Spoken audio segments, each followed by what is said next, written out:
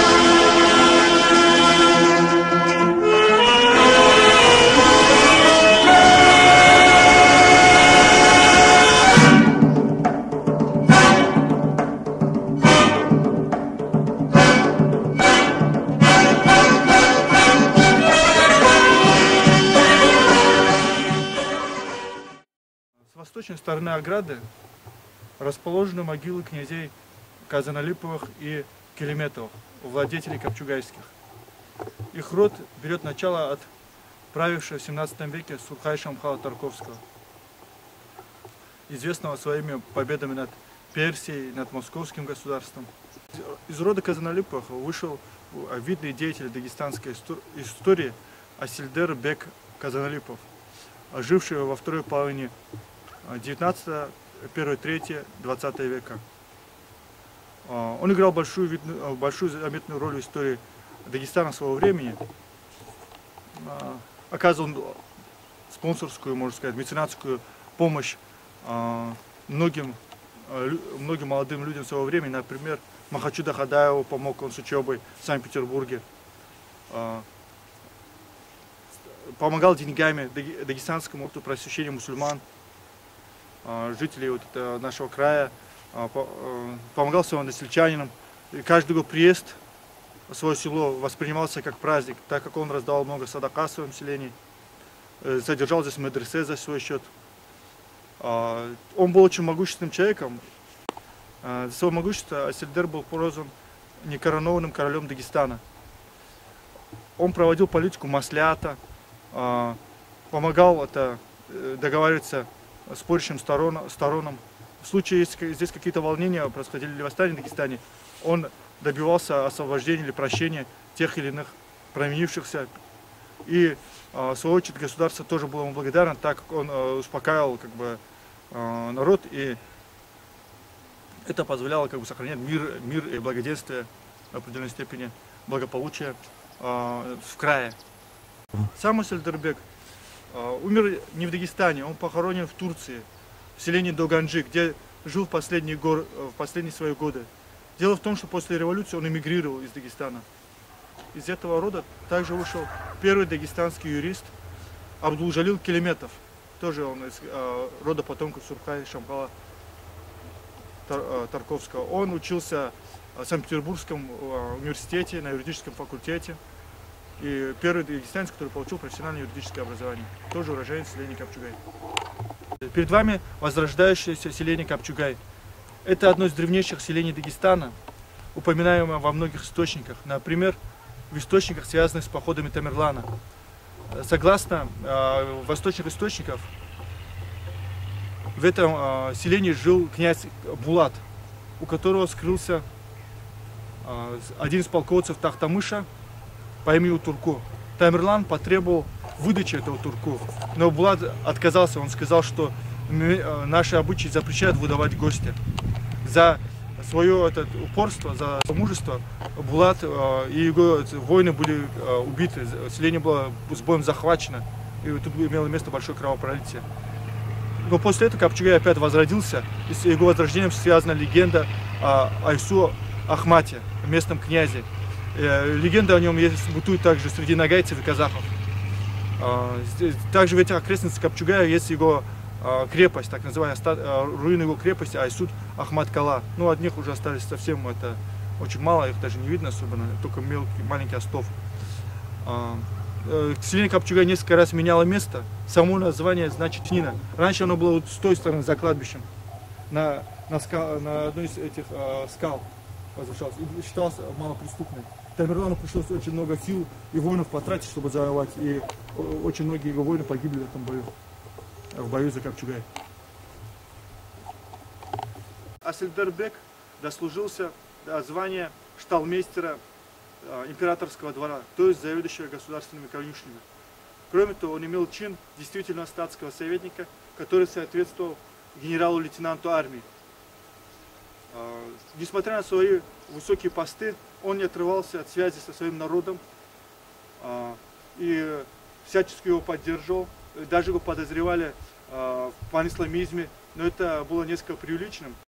Э, его адрес обвинения озвучивалось, например, в Госдуме, в том, что он тайно поддерживает всякие такие силы. Э, на самом деле он просто хотел это больше независимости для своего народа, для его как бы, самостоятельности, культурного возрождения. Помогал этому и финансово, как я говорил, давал детям на обучение деньги и так далее как бы а, оплачивал обучение в гимназиях и школах того времени. И, кроме этого, он также тайно поддерживал революционеров определенный этап. Конечно, у него были свои цели, а он был больше сказать, автономистом. Как бы он стремился к земскому самоуправлению в Дагестане, а, чтобы э, местные жители сами определяли свою судьбу в рамках Российской империи, конечно. Капчугай находится в живописном месте посередине а, гор в Картловине. А, с этим связано его название тоже. А, как, потому что слово капчугай одного корня со словом мешок, как бы мешковина, теснина. Э, такое место, как бы э, внутри которого что-либо расположено. На, вот, населенные пункты с названием Капчугай встречаются также в Казахстане, Киргизии. Есть Капчугай и в Балкарии, на территории Северного Кавказа. Здесь повсюду растет полынь, а, символ это великих степей, а, с которым связана, неразрывно связана история всех этих регионов.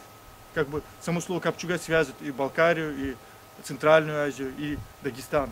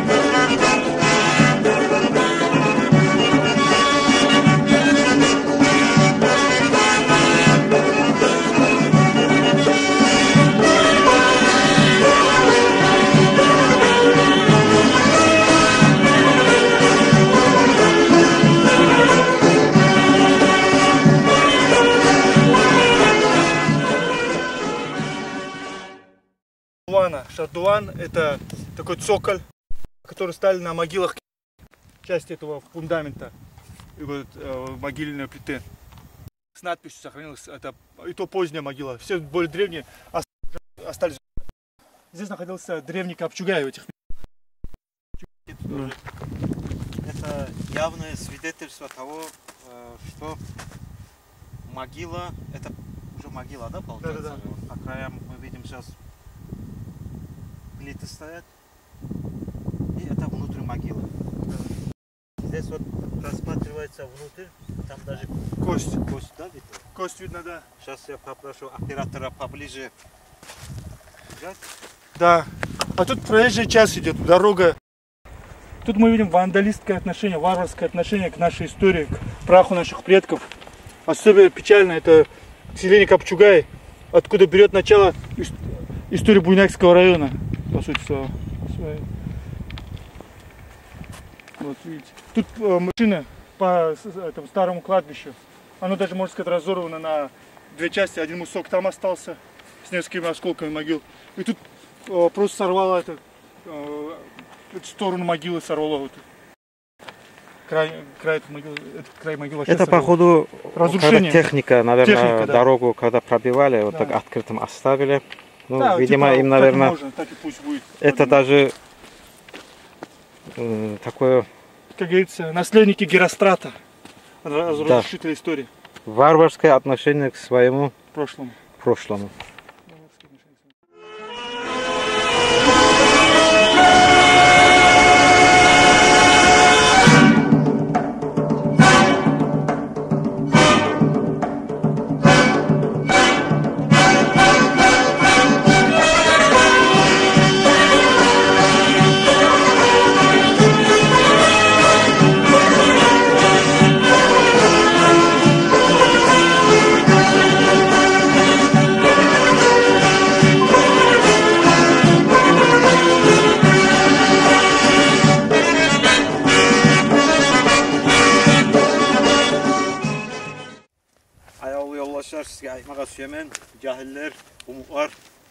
Musurmallar, Şüleyzanı Görgə zabalını yoldan ötüb getməyiz, toxtab arı, ciyib, şöyle bolan, küdəgiley, bolanzanı etməyə taraf. Находимся в местности Черкесаул, на месте его кладбища. А, Здесь есть множество могил а, с, с- с надписями, которые датиру- датируются концом или серединой, может даже, возможно, середины 18 века. А, Не все еще из них а, подняты, некоторые ушли глубоко в землю, могильные плиты, опрокинуты. На некоторых надписи стерлись. Ну вот э, ин- интересный это фрагмент могильной плиты уже сломанный, с узорами, с ре- интересными надписями тут тоже есть, был обнаружен нами. А, что известно об этом селе крупном? А, существовал еще в начале 20 века князь Албек. До революции.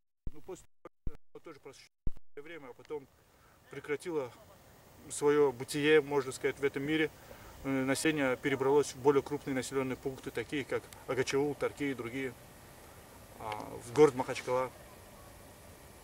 И это селе- селение, об этом селении забыли, забросили, хотя оно сравнительно недалеко от Махачкалы. Э, Его еще предстоит открыть для нашим историкам, поработать в архивах, поработать с а, эпиграфикой этого, этой местности, с оставшимися плитами. Их надо перевернуть, изучить, внести это, ввести в научный оборот.